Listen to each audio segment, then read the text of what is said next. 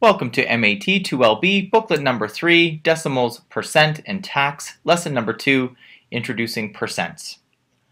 So percents, and you've heard people talk about percents um, in the real world when they talk about giving 110% in math class, or if they talk about a 15 or 20% tip, or if they're talking about a percentage increase or decrease in the price of something. Um, so percents are based on 100 parts. That's actually what the word percent means. It means per 100 pieces. So if your work is 75% complete, then what you want to imagine is that your work has been broken up into 100 little tiny parts and 75 of them have been already finished.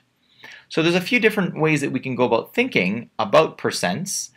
Um, let's start by looking at this one really large square that actually has 100 squares in it.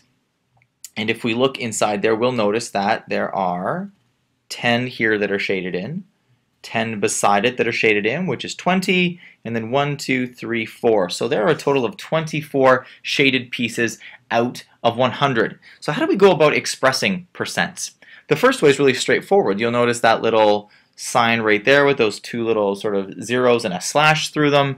That is a percentage sign. And if we were going to write out 24%, that would be the place to do it. So we would write that as 24%. That's what that symbol means.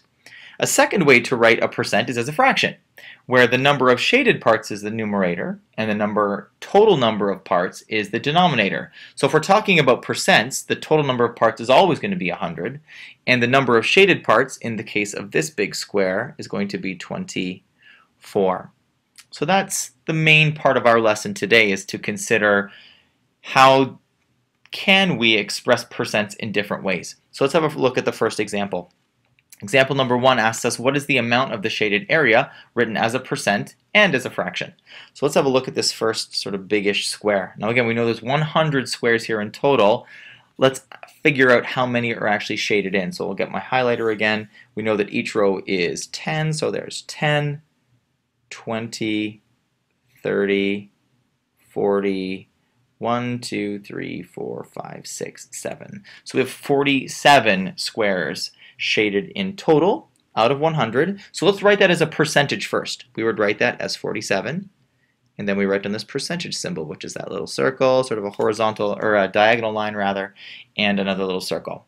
If we were going to write this as a fraction, we would write the number of shaded parts, which is 47, over the total number of parts, which is 100 when we're talking about percents. Let's have a look at the second square. So what I'd like us to do here in the second square, I'd like you to hit pause and count up the number of squares that are shaded in in this second example. And when you've got that done, come on back, we'll see how you did. So hit pause and go for it. Okay, you're back. Hopefully you have counted up 90 squares. That's one, two, three, four, five, six, seven, eight, nine rows of 10 different squares shaded in. That's going to give us our 90. So how do we go about writing that? Again, we can write it as 90% or we can write that as the number of shaded parts, which is 90, over the total number of parts, which is 100. And there's our second square. So I'd like you guys at this point to hit pause in the video and I'd like you to take a crack at this third square on your own. So hit pause, count up the number of shaded spots, write it as both a percentage and as a fraction, and then come on back, we'll see how you did. Okie doke, you're back. So this row doesn't even have 10. It's got 1, 2, 3, 4, 5, 6, 7, 8, 9 pieces shaded in. So that's going to give us a total of 9% and written as a fraction. We would write this as 9 parts out of 100 total parts. So that's how we go about writing percentages as a percent and as a fraction. Example number two shows us sort of a multiple choice scenario where we get to do a little bit of problem solving and see if we can figure out which of these four squares is showing us 33% shaded in. So let's have a look at this and see if we can figure it out. 33% would be three rows and then three extra ones. So there's a couple that we can knock off right off the bat.